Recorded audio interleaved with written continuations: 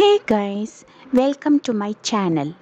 In this video, we will be seeing the activity of defining ledgers in S4 HANA Finance. Before we get into the configuration, let's briefly understand the concept of ledger in S4 HANA Finance. Now, first of all, why do you need to work with so many ledgers? We need to work with so many ledgers to take care of parallel accounting. Parallel accounting means where you need to work with more than one accounting principle. So, in general ledger accounting, you can perform parallel accounting by running several parallel ledgers, that is, general ledgers, for different accounting principles. So, before we go ahead and configure our ledgers, there are certain requirements that needs to be taken care. That is, company codes are created and configured with currency, fiscal year variant, and open period variant. Next, controlling area, at least one, is configured with currency type and fiscal year variant. The company codes are assigned to controlling area. The process flow for today's demo would be to create the ledgers we need in the transaction code fins sc underscore ledger or follow the menu path img financial accounting financial accounting global settings ledgers ledger define setting for ledgers and currency types so you are required to have a leading ledger Leading ledger 0L is delivered in the standard system and all the company codes by default are assigned to this leading ledger.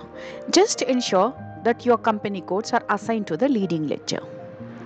In addition, you can create additional standard ledgers and extension ledgers. Now assign company codes to these ledgers.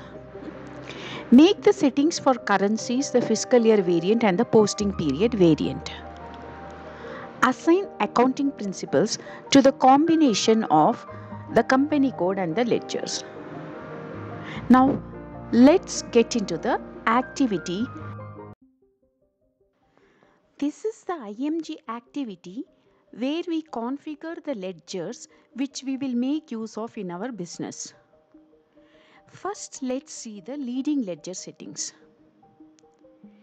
0L is a leading ledger delivered by SAP. You will have to check this box leading as there can be only one leading ledger in the entire client and that is 0L. Now, you have to choose a ledger type for whichever ledger you define here in this activity. We just saw that ledger can either be a standard ledger or an extension ledger. And leading ledger, you know, is a standard ledger. So, standard ledger is chosen here. Standard ledgers are independent ledgers. So, we don't enter anything here for the underlying ledger underlying ledger is relevant only for extension ledgers. Now coming here for the valuation view, if you are working with parallel valuation, then you select the required valuation view. You use valuation views to represent different ways of viewing business transaction in a company. So this can be legal valuation view or a group valuation view from, from a group perspective or a profit center valuation view from a profit center perspective.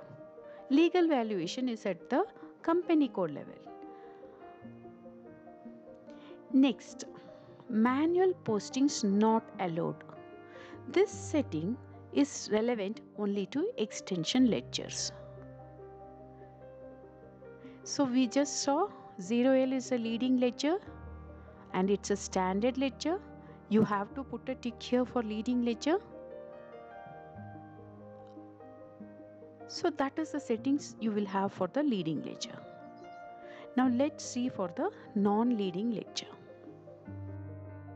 Now let's configure a non-leading ledger which is a standard ledger and a non-leading ledger which is an extension ledger. So we will be uh, seeing the activity of configuring two ledgers for two different purposes. You will have to click here on this new entries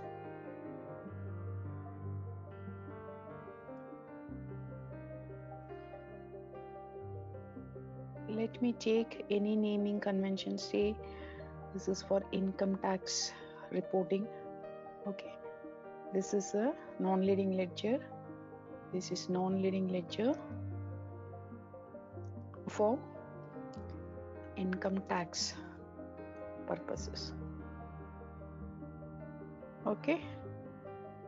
And this is a non-leading ledger and I want to keep this as a standard ledger. So the ledger type there are two types i showed you. Standard ledger and extension ledger. This is a stand standard ledger so i will leave it as this and if it is an extension ledger then only i need to make an entry here. Choose a uh, choose an option from here. I'm not going to choose that because this is a standard ledger. And coming scrolling to your right there is no need of an underlying ledger because a standard ledger is an independent ledger and this one I will make use of for you can choose among these views. I don't want to choose any views because this is for my low reporting and I will be making use of my company code currency for this reporting. So I will not go ahead to do uh, to choose any of these options. So because these are actually meant for transfer prices. That is a that is a different concept by itself okay so uh, i will not make any choice here. And there is no need to disallow manual postings because manually I, I my intention is to do certain postings manually to this ledger. So i am not going to choose this. So that's it. You can now save. There is a save button here. You can see this right hand side corner lower corner there is a save button. Click on the save button. And remember this is not a leading ledger right? I told you there can be only one leading ledger in the client so i am not going to choose this. Now save.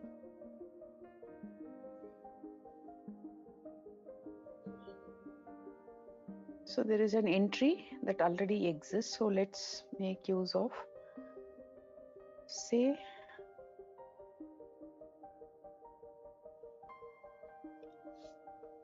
let's see if this key exists. Yeah it's allowing me to save. There are certain information messages or warning messages you can overrule it saying okay. And if there is a prompt for customizing request you can either create your own request clicking on this or if you already have a customizing request you can say okay and continue. So you get information. Ledger group it is created only with ledger it whenever you create a ledger sap automatically in the background creates a ledger group for that individual ledger. So this is an individual ledger right? It is an individual ledger in the background, it has also created a ledger group with IT. So this message says there is a ledger group IT that is created and it has only one ledger called IT. Okay, so say continue, it's now created. Okay, so IT is created. Now I would want to create one more ledger for my managerial reporting and I want that ledger extension ledger. So let's see how we create that. We are already on this new entries screen. So I would like to create one for the managerial reporting. So let me see if man mr key exists or not i'm not sure but i want this for managerial reporting. So let the key be mr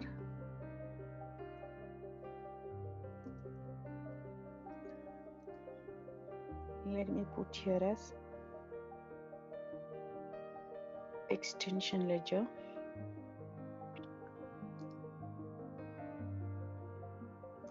Extension ledger for managerial reporting.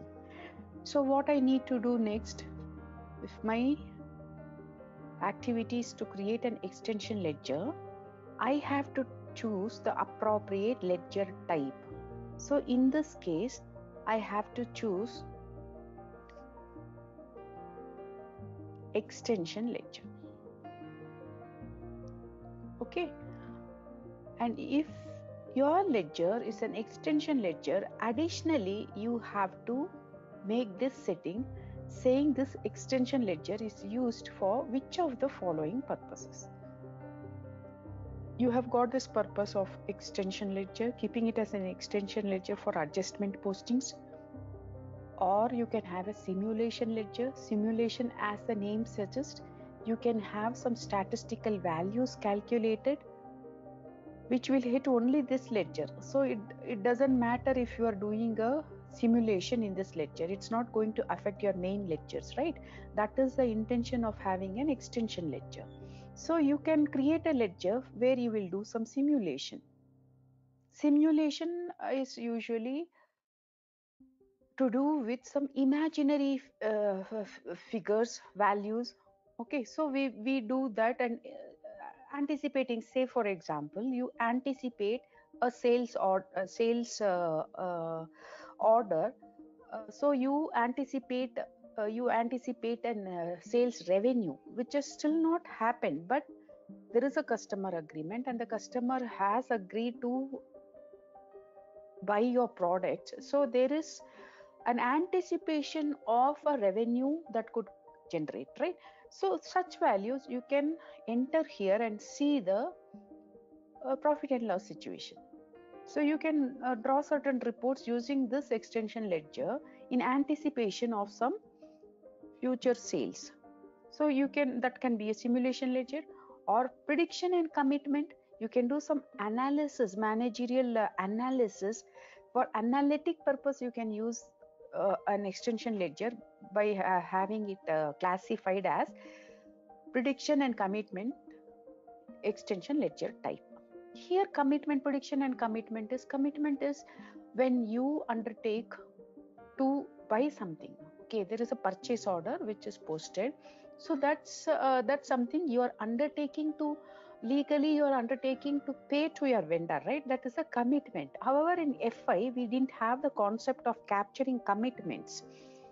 Only in co you you could collect the data for commitment if at all and at the controlling area level you have activated commitment management right?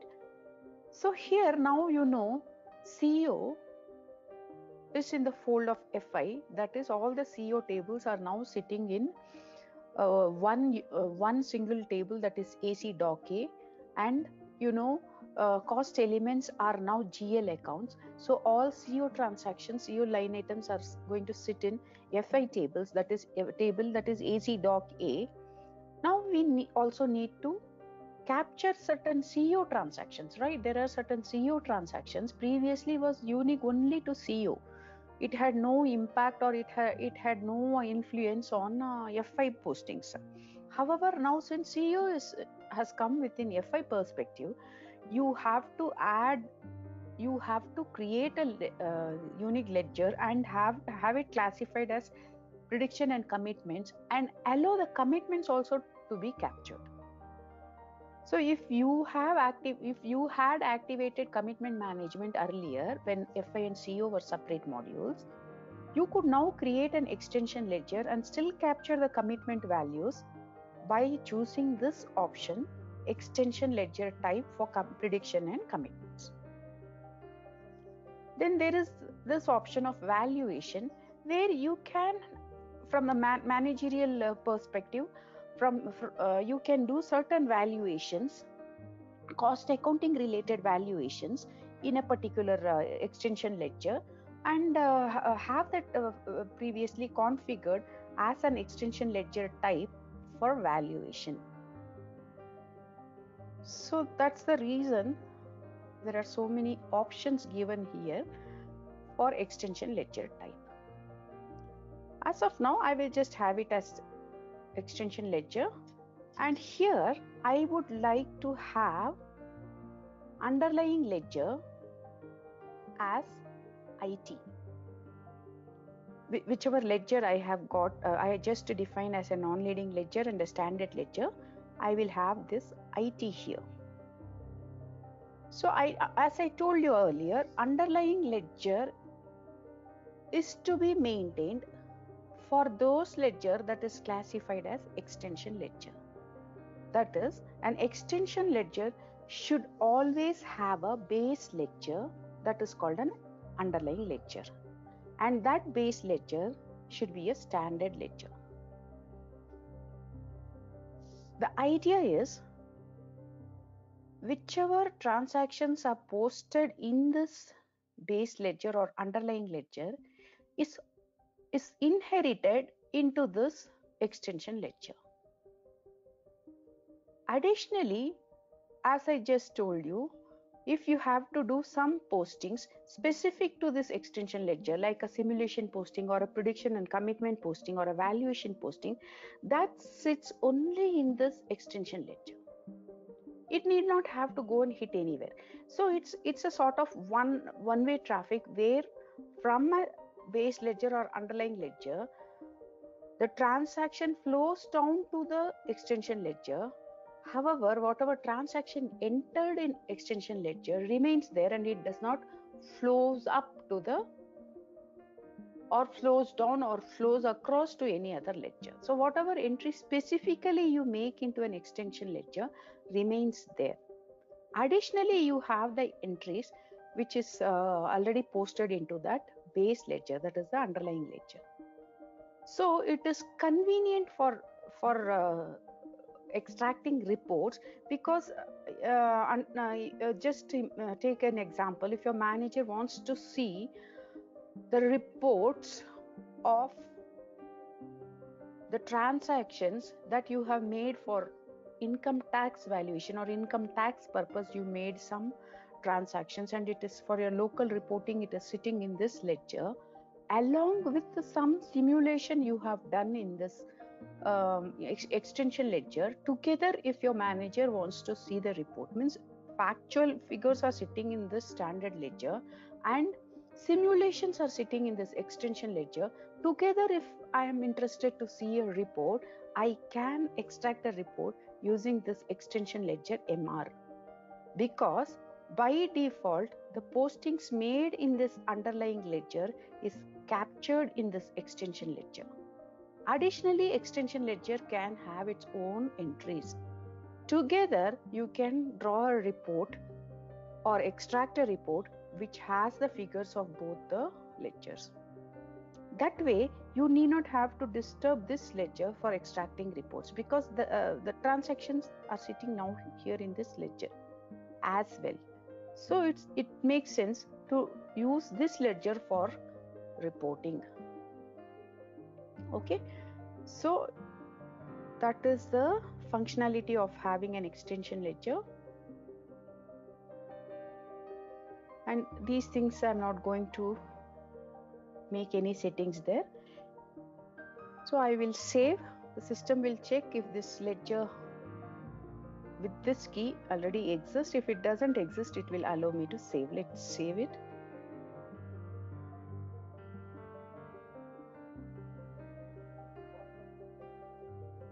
Yeah. Again the same message. Ledger group mr is created only with ledger mr which means when i created this ledger mr system in the background also creates a ledger group with the same MR and that ledger group has as of now has only one ledger.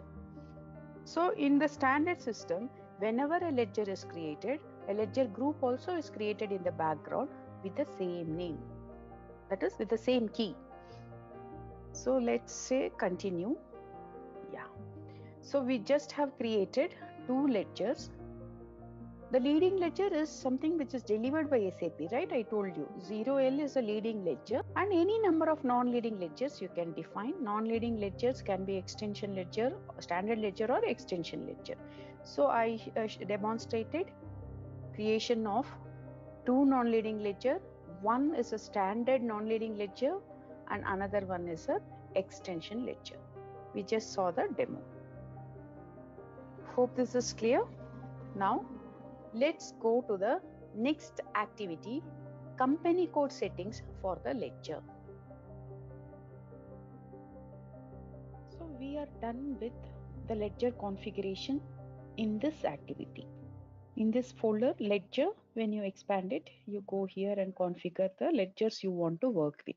0L is uh, delivered in the standard system. We have created one standard ledger and one uh, extension ledger additionally. So now we will see for each of the ledger what settings you make per company code. Now for the leading ledger, let's see what are the settings that is available per company code. So just to choose a ledger, double click on company code settings for the ledger and you will be brought to this screen. Now here you are seeing there is company code and local currency and global currency type. These are grayed out right? Why are these grayed out? Because for the leading ledger all the company codes that are created in this client are automatically assigned to leading ledger. You need not have to come here and do an explicit assignment of your company code to the leading ledger. The moment you are you have created a company code and saved the company code, immediately internally it gets assigned to the leading ledger. That is the reason this is grayed out here. Next, this local currency type is copied from the company code's currency. Company code currency is a local currency that has come here. And this global currency type is a currency that is assigned to the controlling area to which your company code is assigned. So this is the company code currency, local currency type is the company code uh, currency and global currency type is the controlling area currency. So for the leading ledger, company code, local currency type and global currency type will be grayed out because by default it is assigned to the uh, ledger 0L. Your company code is assigned to ledger 0L and from the company code and controlling area combination, these two currencies are defaulted. Now what additionally you could do here in this activity is define to define and store up to additional 8 currencies. These are freely definable currencies. You can store up to 8 currencies. So additionally what we can do here for our company code is define and save up to 8 freely definable currencies. So this feature was not there in ECC, right? This is a new feature that is made available in S4 HANA Finance, you can store up to 8 additional currencies for your company code.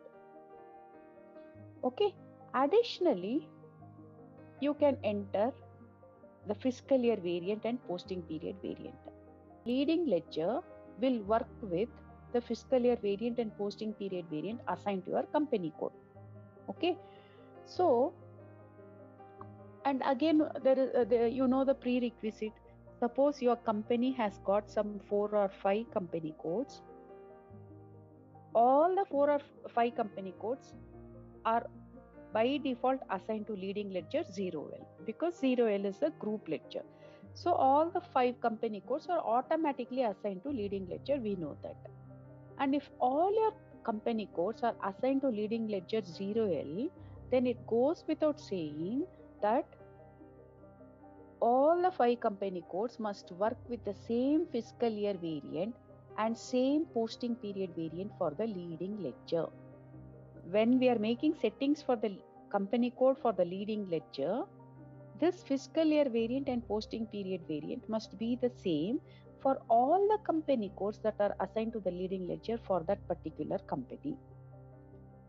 Next, what is this parallel GL accounts? What what happens? You put a tick here. In uh, S4 HANA Finance, SAP allows you to carry on your financial accounting using ledger approach or accounts approach. So you are creating ledgers here. We are creating ledgers here because we want to work with ledger approach. And you can you create ledgers. You want to take advantage of having a ledger so i created ledger but i want to work with accounts approach. Ledgers are still allowed. Ledger is something which you can you have to create right? To store your specific settings so you create ledgers. However i create ledgers but i don't want to follow ledger approach. I want to follow accounts approach. Then you have to put a tick here.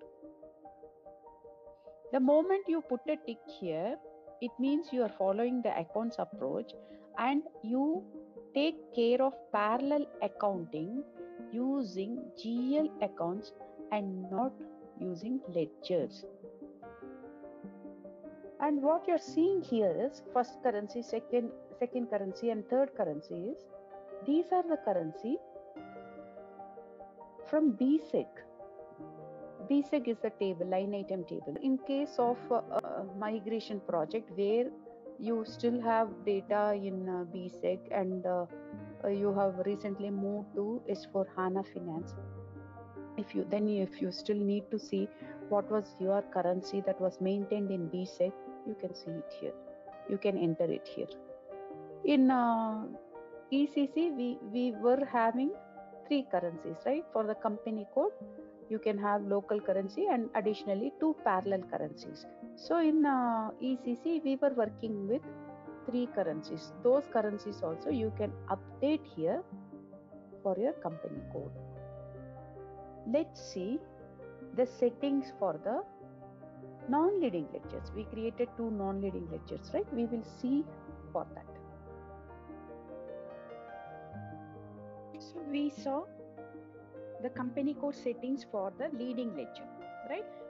Now, for our non-leading ledgers, we have these non-leading ledgers for our local reporting, right? So for uh, company code in India, this non-leading ledger will follow the fiscal year pattern of April to March and to work in synchronization with this fiscal year variant, we have defined a separate posting period variant.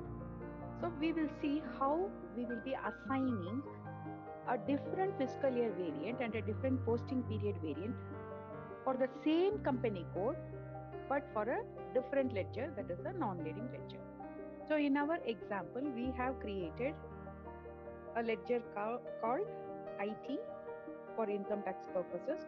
This is our non-leading ledger, right? So choose that and click on this company code settings for the ledger. Okay, so we have come here to this screen. Since this is a new ledger, we have just created there are no settings here. So we have to make the settings work. So click on new entries.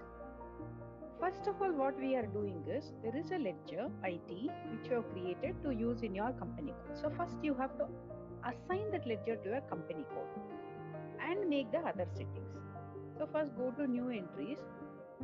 First you have to assign it to work for your company code. So in my example the company code is vj01 right?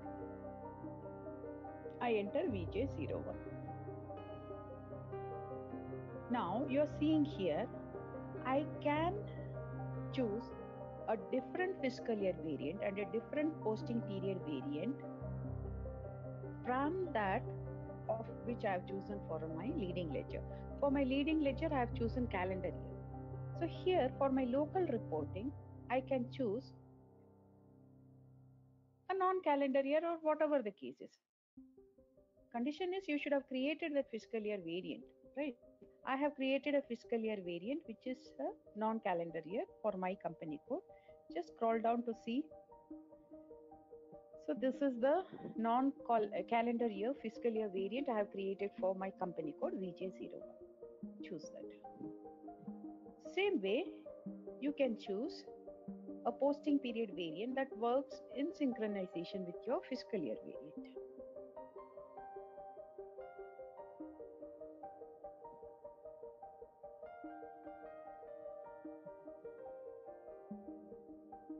So this is my posting period variant I have defined for my company code for my non-leading ledger. Okay, posting period variant for non-leading ledger. Additionally, again, I can, I have the choice for having this ledger managed using accounts approach. So if I am going to manage this ledger using accounts approach, I have to put a tick here and here my parallel accounting happens via GL accounts and not via the ledgers. Anyways, here I want my ledger to be taking care of the parallel accounting, so I'm not going to make a tick here. Click on save and this way you can maintain your non-leading ledger for your company code with a different fiscal year variant and a posting period variant. Follow the same instructions for your extension ledger. Now we have configured our ledgers and made the necessary settings for the company code. Now we have to, in our next step, assign accounting principles for the combination of the ledger and the company code. Let's begin with leading ledger and the company code. So once you choose this leading ledger and click on this accounting principle, it will ask you to enter a company code. Okay, here we'll have to enter the company code. And now make a fresh entry for assigning an accounting principle for the combination of the leading ledger and the company code. Go to new entries and choose the accounting principle. So for the leading ledger, I want to assign the group accounting principle, which is US GAAP. So first of all, you should have defined these accounting principles. So this is my accounting principle, which I have defined for my group reporting. So for the leading ledger, you always have to assign the group accounting principle. This is for my group reporting. Choose that and save.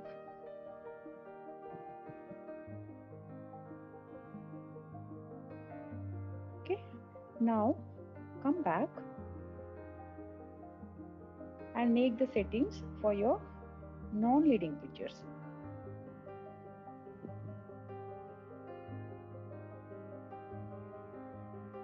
So IT is my standard non-leading ledger. For a combination, for the combination of this non-leading ledger and the company code, I need to assign an accounting principle. So this is my non-leading ledger. This is my company code. Assign an accounting principle. Same instructions. Click on new entries and choose the accounting principle. Click enter and save. For this, I am for my local reporting for India. I have created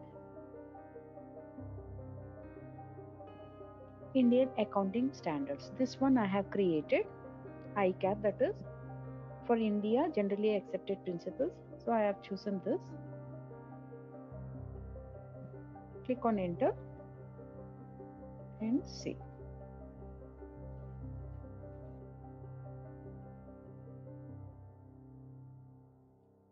Okay, data is saved for your non-leading ledger IT.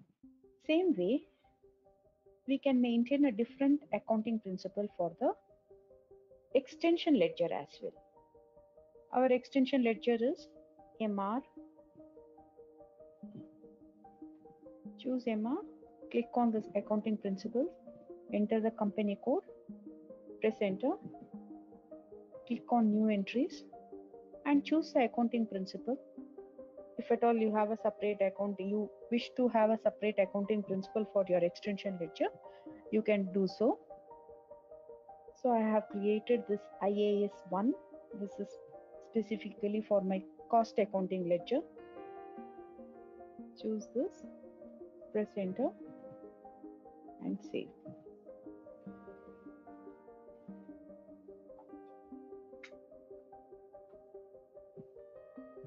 So with this, we have completed our activities of defining ledger, making company code specific settings for the ledgers, and assigning accounting principles for the combination of ledger and company code. Coming up next in the series would be configuring currencies for your ledgers. Stay tuned in. Hope you liked this video. If yes, please give it a big thumbs up. If you would like to see more such interesting videos, please comment below. And for those who are new to my channel, please consider subscribing to my channel where I post such educative videos on SAP. Thanks for watching.